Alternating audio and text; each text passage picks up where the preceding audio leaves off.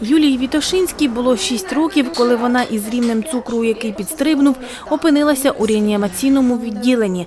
Там почула діагноз – цукровий діабет першого типу. Вже 20 років вона інсулінозалежна. У мене немає, що було попереду. У мене все моє життя є порівняно цукровий діабет. Ось ви прокидаєте зранку і ви знаєте, мене звуть Оля, я то така, така, та а я прокидаю зранку з, мисль, е, з тими думками, що мене звуть Юля, у мене цукровий діабет, і хоч не хоч, але я зараз піду перевірю свій рівень цукру на глюкометрі, да, а, і піду в- підколююся на і розрахую хлібні одиниці. Я так звикла. Мене іншою ніхто ніколи не бачив. 10 років жінка користується інсуліновою помпою, яка безперервно постачає інсулін до організму. Така система коштує 4 тисячі доларів і ви живете повноцінним життям, розповідає Юлія. До того ж, дороговартісні складові помпи, інфузійні системи, резервуари, катетори, голки. Їх потрібно змінювати 4-5 разів на місяць. Це е, е, глюкозний сенсор. Ось він такий. Він пробивається, для нього є свій механізм, щоб робити.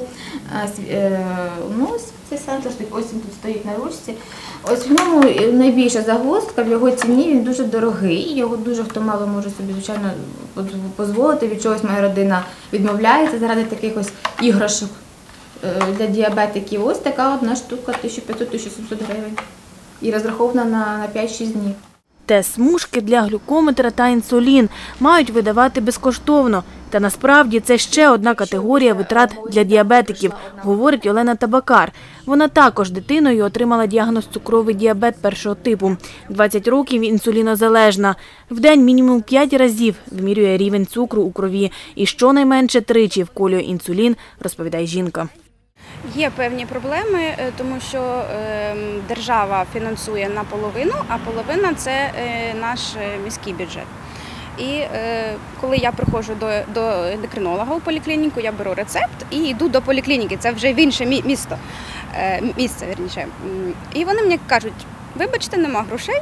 Приходьте там через мі- місяць. А як е, я можу прийти через місяць, якщо мені цей інсулін потрібен от кожного дня? Він в мене закінчився, і ну іди і купуй. В аптеці він є у продажу. А так, щоб мені видали його без, безкоштовно, нема. Гроші з місцевого бюджету можуть виділити на потреби інсулінозалежних людей в разі недофінансування державою закупівлі інсуліну. У 2020 році запитів від обласного управління охорони здоров'я не надходили, говорить голова Миколаївської обласної ради Вікторія Москаленко.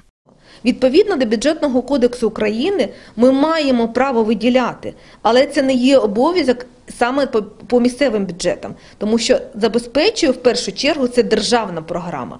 Тому е, затримки необхідно запитати в департаменті охорони здоров'я причини, чому саме е, державний бюджет не надає вчасно субвенцію.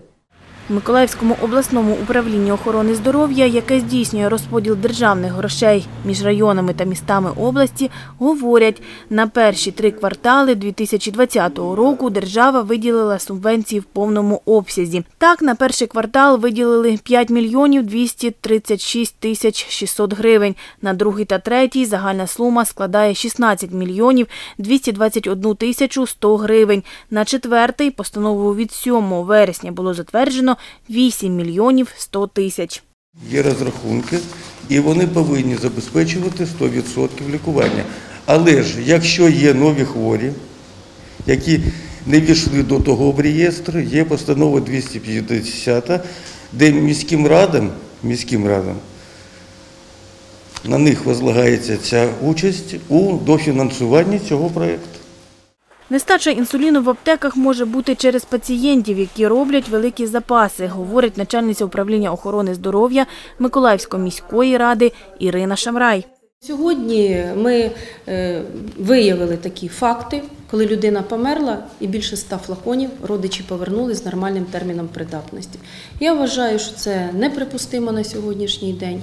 Сьогодні людина повинна мати ну, півтора там два місячний запас. Це абсолютно прийнятно, нормально. Не на камеру в Миколаївському обласному управлінні охорони здоров'я говорять, пацієнту не варто вимагати від лікарів-ендокринологів додаткових рецептів, аби не створювати дефіцит інсуліну для інших хворих. Я лікар стаціонару, а існує лікарі-ендокринологи е, по місцю проживання. І всі наші хворі е, наблюдаються у лікарів-ендокринологів по місцю проживання. Вони приходять до ендокринолога свого, ендокринолог е, виписує рецепт, і хворі йдуть до аптеки там, де повинні отримати інсулін. Всі так, вся. Україна наша. Чомусь нас, е, хворих е, на цукровий діабет, вважають не такими хворими, як інших хворих. І я розумію, да, ми живемо нормальним життям, але якщо в нас не буде інсуліну, то нормального життя в нас також не буде. І тяжкі ускладнення у нас також будуть. Станом на 2020 рік в Миколаївській області майже 5 тисяч інсулінозалежних хворих на цукровий діабет.